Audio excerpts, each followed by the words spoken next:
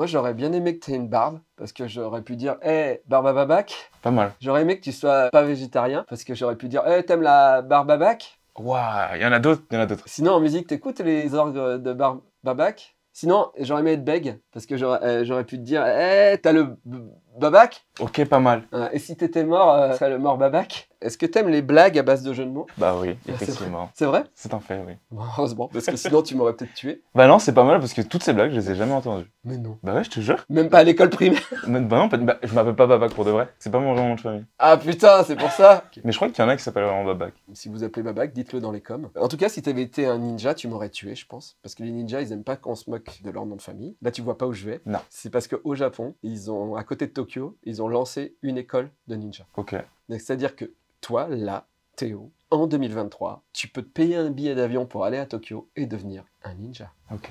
Alors, qu'est-ce qu'on fait là-bas dans cette école pour devenir un ninja? Tu as des cours de théorie et tu apprends que les ninjas, c'est pas que des types louches en combinaison noire chelou. hein. Non, c'est un peu des sortes d'espions. hein. Donc eux, ils les appellent plutôt des shinobi. Shinobi, ouais, carrément. Attention, on va parler de shinobi, ça va être flou, ça va être vague, on vérifie pas nos sources, donc nous dites pas dans les commentaires euh, les shinobi, c'est carrément pas ça. A priori, ils t'apprennent à devenir un shinobi. Ok. C'est pas ça un Shinobi. mais- Mais il y a eu plusieurs jeux sur Mega Drive par contre. Je crois que je vois. Ah, tu vois, mais t'es trop jeune. Peut-être, je vois un petit peu. ok, c'est ça. Donc, qu'est-ce qu'on fait là-bas? Est-ce qu'on fait du Naruto toute la journée en jetant des kunai? Non. Tu vas là-bas, tu coupes du bois, tu cultives des légumes et on t'apprend la vie. Comme un vrai espion en fait. Non, comme un lycée agricole. Ok. En fait, je pense qu'au Japon, ils se sont dit Eh, on va lancer un lycée agricole. Ah putain, on va avoir personne. Eh, si on disait que c'était une école de ninja Et là, ils ont fait Mais ouais Et là, ils ont eu des inscriptions. Il y a d'autres choses, hein, bien sûr, il y a d'autres éléments. On apprend aussi que les shinobi savent manier le feu. Les flammes. Manier en mode ils ancrés comme ça ou Ouais, par exemple, ou alors ils enflamment leurs armes, tu sais, des fois, les, les shinobi. Et donc, ils ont des cours. de feu. Tu as accès au laboratoire, qu'ils appellent, ils appellent ça le laboratoire incendie. Ok. Donc, tu apprends à enflammer tes armes et à créer des explosifs. Ok. Mais c'est que de la théorie. C'est-à-dire que toi, tu n'as pas accès aux explosifs et aux flammes, mais tu as des profs qui te montrent comment ils font. Donc, à quoi sert un diplôme de ninja à Tokyo en 2023 À passer dans l'amour et dans le pré? C'est bien. C'est une très bonne punchline. En vrai, j'aimerais bien avoir quelques Asiates dans la- l'amour et dans le pré, parce que c'est quand même très blanc avec le teint rosé par le pinard, hein, quand même. euh. J'imagine mal. Un Asiate? Euh, non, un asiate, mais surtout recouvert totalement de noir.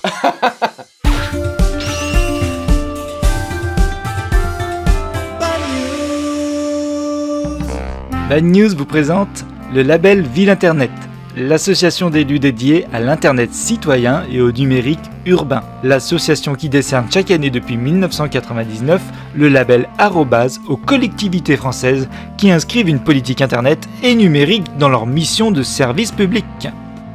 Le label Ville Internet.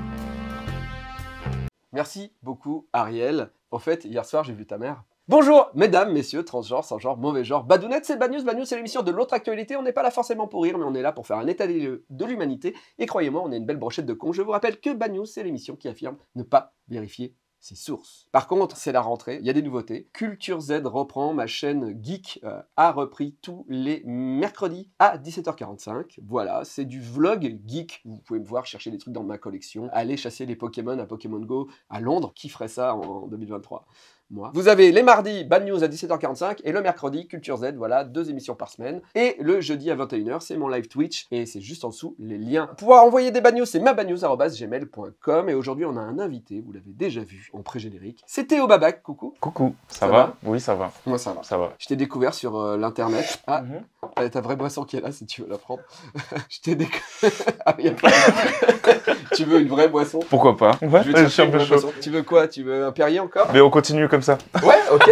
Alors Théo Babac, donc euh, moi je t'ai découvert, euh, tu fais des TikTok, euh, tu fais des vidéos rigolotes mais un peu courtes, c'est ça? Oui, c'est ça. Euh, c'est exact. euh, Surtout sur YouTube. En tout cas, je me concentre sur YouTube. TikTok, c'est un peu sur le côté. Et tu vas à Oasis parce que il y a plus de. Ah, je suis plus chaud pour. Il y a plus de parier. Bah, un, un verre de San Pellegrino, je suis un peu Ouais, chaud. ça- allez, de la Saint-Pé, allez, ça arrive. Allez, euh, pour la table 2. et, donc, et donc, tu fais des, des vidéos courtes. Tu as commencé, tu me disais, sur YouTube avec des vidéos un peu plus longues. Et ce qui t'a fait vraiment marcher, c'est TikTok, en fait. C'est TikTok. Euh, chaque réseau a un petit peu son succès euh, indépendants. Genre le mec il se la pète. Genre, en fait, je, en fait, je marche sur tous les réseaux. Même Oui, Facebook, non, mais- même Facebook ça marche. Même Vine. En plus, t'as rien inventé hein, parce que mec, t'es hyper drôle, mais t'aurais été hyper drôle sur Vine. Oui, c'est vrai. En fait, tu fais des Vines sur TikTok. hein. Oui, c'est vraiment un peu ce que je fais. Hein. ah ouais. Je pense que j'ai Ah ouais. vraiment peut-être deux vidéos qui dépassent 6 secondes, effectivement. Ouais, c'est clair. c'est sûr. C'est trop bien, tu fais de l'absurde. Moi, je trouve que c'est hyper rare. C'est hyper rare que ça fonctionne aussi. Donc, c'est c'est de l'absurde drôle et c'est super. Il doit y avoir de l'absurde qui marche pas aussi. Oui, c'est vrai. Et du coup, là, tu te relances sur YouTube. Oui, je, je prends souvent des pauses en vrai sur YouTube, mais même sur TikTok, un peu partout, parce que je fais un peu comme je le sens, euh, avec toute mon inspi et tout ce que j'ai envie de faire dans la vie présentement, quoi. Moi, j'adore l'humour euh, absurde, Mhm. mais j'adore la dépression aussi. Mhm. C'est c'est les deux mamelles, finalement. Pareil. de ma vie. Ce qui me fait rire dans tes vidéos, c'est ça. C'est-à-dire qu'on peut être vraiment dans un absurde très très loin et d'un seul coup arriver à une phase hyper dépressive sur euh, l'artiste qui sait pas pourquoi il fait ça et Mm. Franchement il y a la guerre en Ukraine, pourquoi je continue à faire des blagues, tu vois Et boum, et après on repart dans l'humour. Mm. Et ça, j'adore ce... On est vraiment dans une montagne russe quoi. Quand on te Ouais, regarde, on sait jamais où on va aller quoi. Et du coup, je suppose que ça va dans ta vie. Comment ça? Dans quel sens c'est vrai, mais c'est une question que je te pose, ça va? Bah, c'est plus complexe que juste des petites blagues, quoi, Ouais. disons. Et c'est pour ça que je fais, bah, je fais de la musique à côté aussi qui raconte un peu plus ce côté-là. Et la musique, on l'entend où? Sur Spotify Spotify. Donc t'es vraiment sur tous les réseaux. Exactement. Donc tu mentais pas et ça marche sur tous les réseaux. Ça marche plutôt bien. C'est cool. Ok. Pareil, j'ai fait une pause sur la musique, mais je reviens. Ok. Donc là, c'est plus YouTube, là maintenant. C'est ça. Attends, je te rappelle qu'on est le 7 novembre. Il fait pas hyper chaud dans cette pièce. Le 7 no... ah, il fait froid là. Ah, Ah, c'est pas de la transpi, c'est de la pisse. Allez Mais euh, en novembre, du coup, je pense que toutes mes vidéos de YouTube seront sorties pour le Babak Show épisode 1. J'aurais peut-être repris un petit peu TikTok Ok. et quelques sons seront sortis. J'espère que j'ai raison. Bah écoute, tu pourras venir dans les commentaires et t'insulter et te Ah dire ouais, de fou. Théo, t'as dit trop de la merde Je vais grave faire ça. Bah allez. En bref En bref. Est-ce que des animaux marins te font peur? Tous. Tous En fait, j'aime pas la texture des, des animaux. et du coup, quand je... enfin, surtout des algues, c'est Ah pas un animal. Moi, c'est les- ballons. J'aime pas la texture du ballon. Le ballon, l'animal marin? Ah non, non, le. Ah, le vrai ballon. fête. Ah oui. Ah oui. Ah non, mais ça c'est- Sache que dans les mers sous les abysses, il y a des monstres horribles. Et ben, on va te faire rencontrer une bestiole, à mon avis, que tu connais pas. Ok. Enfin, peut-être que tu la connais, la tortue. Oui, je la connais bien. C'est mon voisin. T'aimes bien les tortues Ouais, tout ça. donc, euh, Mais ça, c'est une tortue Shinobi. qui annonce. Non, pas Shinobi. lutte. Une torture. Torture lutte. Tortue lutte Torture lutte. Une torture lutte. Ok. Alors, on dirait que c'est une blague, une, une torture lutte. Mais c'est vraiment son nom. C'est une lutte. L-U-T-H. Tortue lutte. Il n'y a pas le U-R. Ah, Voilà. J'essaie de deviner. T'essaies de deviner quoi Du coup, c'est Quel quoi est son problème Ouais. Ah bah vas-y, fait du violon. Ah non, non, non. Mais c'est vrai que le lutte, on pourrait croire, ah, voilà, effectivement, il y a un petit truc musical. Non, pas du tout. Imagine, t'es en jet ski. Tu fais beaucoup de jet ski, je pense. Ça m'arrive souvent. Tu fais du jet ski et là, c'est pas des skis que t'as au pied, c'est deux tortues lutte. Donc, Waouh, trop bien, t'es trop fort. T'es sur un nouveau réseau et ça marche de ouf parce que tous les réseaux que tu fais marchent. MySpace Sauf qu'à un moment, il y a une vague et la tortue lutte euh, se retourne, ouvre la bouche et ton pied rentre là. Oh la vache Oh la vache C'est dégueulasse C'est la bouche, l'intérieur de la bouche. Oh, c'est dégueulasse lutte. Ah, je peux pas Tu veux que je change? Je veux bien Oh, c'est dégueulasse Ah, je sais pas pourquoi ça m'a fait aussi peur J'aurais pas cru que la réaction soit à ce point-là. mais C'est pas des dents. Oh, c'est quoi? C'est des bites. Et quel animal aurait 8000 bits dans la bouche? Je sais pas, pour 8000 femmes, c'est comme ça qu'ils procréent. Ouais, si, si la tortue lutte meurt, elle va au paradis et il y a 8000 vierges qui l'attendent qu'elle doit féconder avec ses dents de bouche. Exactement. Eh ben oui, non. J'aime bien. c'est quoi, des du coup épines. Ah, ok. C'est des épines pour les... Parce que ça mange des... Des poissons Mm, Ouais, presque. Des œufs Non. Des méduses Ça mange les méduses. Ok. Et vu que les méduses, c'est hyper euh, urticant, Ouais, ouais, carrément. eh ben en fait les épines sont là pour les piquer, pour enlever l'effet urticant de la méduse et pouvoir la, la manger sans être malade. Oh la vache. Mais du coup, ces tortues luttes avec ces super euh, épines qui font peur. Quand elles voient ton sac en plastique que tu as jeté dans la mer, toi humain débile, elles se disent "Eh mais ce serait pas une méduse Et ses dents, elles servent à rien, ces épines contre ça et elles meurent étouffées. Et tu tues la tortue lutte. Et si tu tues la tortue lutte, il y a plus de méduses et s'il y a plus de méduses, bah quand tu vas dans l'eau pour faire du jet ski, Ça pique. Qui fait piquer le kiki. Ok. Et donc, du coup, bah, arrêtez de jeter vos sacs en plastique dans la mer, même si ça a une bouche dégueulasse. Sinon, ça tue les tortues luttes. Les tortues luttes, c'est impossible tu- à dire, tu- on est Tu d'accord. tues les, tu... ah, Tu tu tues les tortues luttes. Tu tu- tues les. Ouais. Et il faut pas tuer la turlute. Elle est horrible celle-ci. Ah ouais J'ai- J'ai plus de trucs comme ça. J'aurais su que tu réagis comme ça. Faut que je te réinvite dans l'émission et que je, fasse, je prépare une spéciale. Je suis chaud. En fait, je sais pas pourquoi ça m'a fait peur. Moi, je suis quelqu'un, je suis arachnophobe du coup. Ok. Euh, moi, j'ai peur aussi, j'aime pas trop. qui- ouais, ouais. Et je sais pas pourquoi ça m'a un J'ai peu. vu aucun Marvel avec Spider-Man. Ah ouais? À ce point-là Non, je déconne. Hyper crédule. Hyper crédule. hein. Vraiment. hein. C'est un truc chez moi. J'ai apprécié le. Ah ouais À ce point-là Ok. Ah, il y a une tortue. Ah ouais C'est pas vrai. Moi, je te crois. Moi, je t'ai cru. En bref, Délodie, je sais pas où on va, mais voilà. En bref. On va continuer avec les animaux. Ok. D'accord Parce que j'ai vu que tu adorais les animaux. On va parler d'un autre animal euh, dans un zoo en Chine. Donc, tu connais la Chine? Ouais, panda. Vas-y, continue, continue, continue. Cette photo a fait le tour des réseaux. Donc, toi, tu m'as dit que tu adorais les faits divers, donc tu l'as peut-être vu. Mhm. Est-ce que tu as vu cette photo? Je l'ai vu cette photo. On est d'accord que C'est trop marrant. ce mec est déguisé en ours. Bah, sur la photo, on dirait vraiment. Mais quand tu continues la vidéo. On voit les pantoufles, Mais c'est ça. on voit le pantalon. On dirait un pantalon. C'est Euh, clairement ouais. petits pantalons, quoi. Du coup, bah, tous les gens sur les réseaux ont dit Eh, bande de salauds Ça va pas de déguiser des mecs en ours et de faire croire que vous avez des ours dans votre zoo? Et là, le zoo a dû faire des excuses sur Internet et a dû envoyer d'autres photos, effectivement, pour prouver que c'était bien un ours. C'est un ours malais. Donc, euh, le zoo a fait un communiqué. Il C'est un vrai ours, putain Et oui, c'est une, une espèce qui est pas très grande elle a un pelage froissé. Donc, oui, des fois, quand elle se met sur ses pattes arrière, on dirait qu'il y a un pantalon qui fait des bourrelets. Mais non, c'est un vrai ours, putain mais pourquoi il y a eu cette polémique en Chine? Parce que quelques années auparavant, je jure que c'est vrai, enfin je jure, on n'a pas trop vérifié les sources, mais à peu près, un zoo en 2013, un zoo j- chinois a été obligé de fermer, a été mis au tribunal à cause de leur lion en cage. Et le lion qu'ils présentaient dans leur zoo, Oh, c'est trop mignon. c'était un dog du Tibet. Le zoo a donc fermé. On peut s'y méprendre. De loin, de loin. Ce ne serait pas le moment de regarder la correction de Sylvain? Ah, mais oui. Ah, vraiment. Eh ben, regarde. Bonjour les badounettes. Dans la Bad News 230, à 22 minutes 35 secondes, Davy et Boulet rapportent les propos de Jim Davis, le papa de Garfield. Jim Davis estime que Garfield est aussi connu que le Père Noël aux États-Unis. Je pense que oui, honnêtement, tout le monde connaît Garfield. Oui, c'est vrai. Comment savoir réellement qui est plus connu que qui? Subjectivement, on peut se dire qu'un mec comme Gengis Khan, par exemple, fondateur de l'Empire mongol, a toutes ses chances. Il a tellement baisé, slash euh, violé, à son époque, qu'on estime que plus de 16 millions de personnes sont ses descendants directs. Et indirectement, 8% des Asiatiques, ou en gros, une personne sur 200 dans le monde actuellement. Mais ils sont peut-être euh, nihilistes, et lui en veulent. Peut-être, voilà quoi, la vie c'est dur, il y a du chômage, tout ça. Alors, on va essayer de prendre des critères un peu plus tangibles. Il existe des classements. Le classement des personnalités les plus admirées dans le monde, par exemple. Ça veut pas dire grand chose, hein, mais ça a le mérite d'être là. Au dernier en date, les trois premiers hommes sont Barack Obama, Bill Gates et Xi Jinping, président chinois. On pourrait faire le jeu à la con, là, vous savez, euh, avec qui tu passes une nuit, avec qui tu te maries et qui tu tues. Tu tues, lol. Bon, euh, niveau homme, c'est facile. Perso, euh, moi je couche avec Barack, je tue Xi Jinping parce qu'il aime pas qu'on dise qu'il ressemble à Winnie.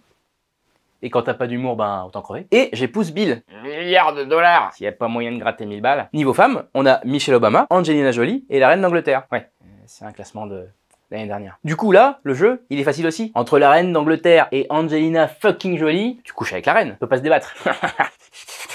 Plus près de nous, on a les personnalités préférées des Français. Mais euh, c'est complètement con aussi ça, parce que c'est l'Institut de sondage lui-même qui donne une liste aux 1000 Français sondés, au téléphone. Et ils doivent juste les classer en gros. Donc pas de Friki Woody ou de Denis Mourier par exemple. Alors par contre, dans le top 50, on a du Jean-Jacques Goldman, du Michel Sardou, du Gad Elmaleh. Et alors pour les femmes, Mimi Mati, Lynn Renault, Marine Le Pen, j'ai plus trop envie de faire le jeu là. Mais vous, Tiens, oui, vous. Faites le jeu en commentaire de la présente vidéo. Avec quel membre, alors attention, masculin uniquement, sinon c'est pas du jeu, de l'équipe de Bad News vous couchez juste une nuit, avec quel membre vous mariez et qui vous euh, tuez? Peut-être risqué comme manœuvre euh, quand même. On, on tente. Perso, je suis célibataire, et fonctionnaire, et propriétaire en région parisienne, et susceptible. Donc, euh, hein Au revoir les badounettes. Merci beaucoup. Sylvain, tu as fait combien d'heures de bagnole pour venir? Une heure. Sache que l'émission est bientôt terminée. Ok, trop bien. tu veux savoir le prix du Uber? Parce qu'en fait, là, il y avait beaucoup. bah alors du coup, je vais t'offrir- le livre Bad News. Non, mais, ouais. oh, trop bien Voilà. Oh, c'est trop bien Mais vas-y, lis-le et m'écoute plus. T'as dit quoi? Dis-le et n'écoute plus l'émission. Est-ce que tu es prêt à passer à la bad news du jour? Je suis prêt.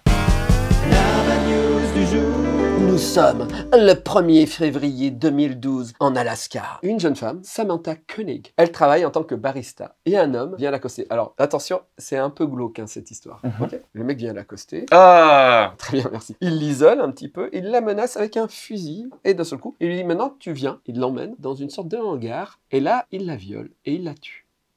Ok, Pas ouf. pas ouf. Mais on en parle dans Bad News parce que quand même, il y a le côté, tu vois, il y a la première couche tueur en série, parce que c'est un Mhm. tueur en série, hein, euh, donc on va pas parler des autres meurtres, mais il en a fait d'autres. Mais il y a une couche en plus avec ce tueur. Il y, a- euh, il y a une photo Bien sûr. Ah. Tu veux voir la bouche du tueur? Il mange des tortulutes. Euh, non. Dans la maison voisine de ce hangar, où on n'entend rien de ce qui se passe dans son hangar, il y a une femme et une fille. Et c'est la femme et la fille de ce tueur en série. Et donc lui, il navigue entre les deux maisons pour euh, avoir une vie classique et une vie de tueur en série. Et donc cette jeune fille, il la viole de temps en temps dans le truc, il va voir sa femme, il la reviole et il la tue. Horrible, euh, mec horrible, voilà. Ce mec mène une double vie et il s'appelle Israel Kay. Aux États-Unis, ils l'ont appelé l'American Predator. Il n'a jamais fait un film avec Alien pourtant. J'ai pas la ref. Il a 12 ans.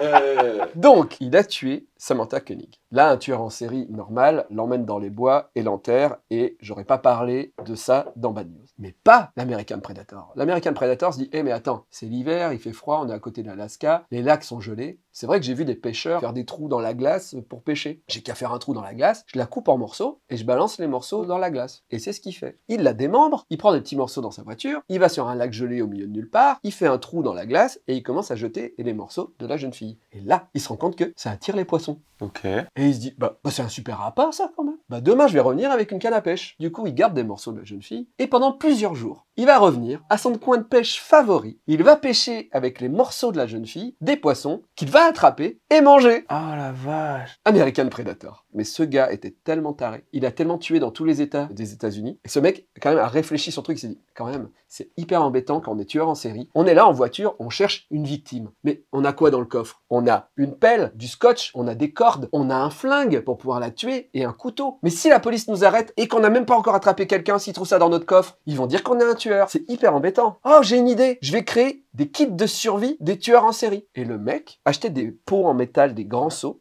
Il mettait à l'intérieur des pelles, des cordes, tout le kit nécessaire pour tuer quelqu'un. Dans tous les États des États-Unis, il allait creuser des endroits où il les enterrait. Et quand il se baladait dans un État et qu'il voyait une victime, il avait sa carte où il savait où était enterré son truc. Comme ça, il se disait, ok, la victime est là, mon pot le plus proche est là. Il allait déterrer son truc et il allait tuer sa victime et après il renterrait son truc. Mais c'est même pas lucratif, c'est vraiment juste pour son propre euh, plaisir. Pourquoi Je, je sais pas. Pourquoi tuer les gens Alors ça peut devenir lucratif, mais c'est vrai que c'est un autre métier, c'est tueur à gage. Ouais, ouais. Euh, C'est fou, je trouve ça fou. Et, c'était quand? 2012. Il a été arrêté en 2012? 2012. Quoi? Il y a encore Mais des gens qui tuent des gens en Mais- 2012 C'est pas ça. Waouh C'est si récent, j'en ai jamais entendu parler, je trouve ça fou. L'American Predator, il s'est suicidé. Il s'est même pas fait arrêter. Si. Ah. Ils l'ont mis en prison Mhm. et bizarrement, il a réussi à trouver une lame de rasoir et il a réussi à se pendre en même temps. Mais ils en Et- vendaient dans la prison. Oui, c'est ça. Et avec son sang sur le mur, il a dessiné un pentagramme avec 11 crânes à l'intérieur et il a écrit au milieu We are one. Donc on ne sait pas s'il a tué 10 personnes et la 11e personne qu'il a tuée, c'est lui, Mhm. ou s'il a tué 11 personnes et qui se comptent pas dans le lot. Mais en tout cas, ils font tous partie de lui. Bah, peut-être parce qu'il a mangé les poissons. Oh la Euh, vache Voilà. C'est fascinant, mais c'est horrible. Mais c'est fascinant. mais horrible. Je trouve ça fou de pas en avoir entendu parler, qu'on ait- on a des images, des trucs comme ça. Alors attends, je peux te montrer sa la tête. carte, tout ça. Ouais, bien sûr. Allez, c'est parti. Voici la tête du gars. Ok, il a la tête. Ok. Bah, pas tant, je trouve. hein. Un peu. Le tu front. vois manger du, du poisson qui a mangé de l'humain, toi? Il a la bouche pour. Ouais. Si on regarde dans sa bouche, je crois que. tu me détestes. Tu me détestes. Merci à toi. J'étais hyper content de te recevoir et euh, j'aimerais bien que tu reviennes euh, pour moins plaisir. cher. Et euh, non, mais c'est vrai. Et, et j'adore ce que tu fais. Donc, allez voir sa chaîne YouTube. C'est euh, Théo Babac. Exactement. Mais t'en as deux chaînes YouTube. J'ai au Babac 2 aussi. Ah oui. Dedans, du coup, je mets toutes les petites vidéos courtes Ok. et euh, contenu un petit peu additionnel. Quoi. Mais elles marchent toutes. Oui. La 2 fonctionne de son propre du, coup, côté. mais ouais. du coup, en général, la bad news, on est autour de 30-40 000 vues. Ok. À ton avis, vu que t'es dans cette émission, on va faire combien? Je pense que ce sera pareil, 30-40 minutes. Aucun risque Ouais, parce que tu vas pas partager la vidéo, rien. si, si, mais c'est. Mais les gens s'en foutent. Ouais, je sais pas. J'ai l'impression que moi en fit, c'est pas bankable. On verra, hein. On verra. Ok. T'as une opinion de toi-même qui est quand même assez de moi euh, très euh, élevée, ouais. Très élevée, ça se sent. ouais. T'es vraiment euh, à, à fond. En tout cas, merci beaucoup. Merci à vous euh, d'être là et de nous suivre. Rendez-vous mardi prochain à 17h45 et rendez-vous demain sur ma deuxième chaîne, la chaîne Culture Z, à 17h45 aussi. Et rendez-vous jeudi à 21h sur Twitch où on va faire un truc que je sais pas, mais, euh, mais ça va être bien. Allez, à bientôt, ciao. Salut.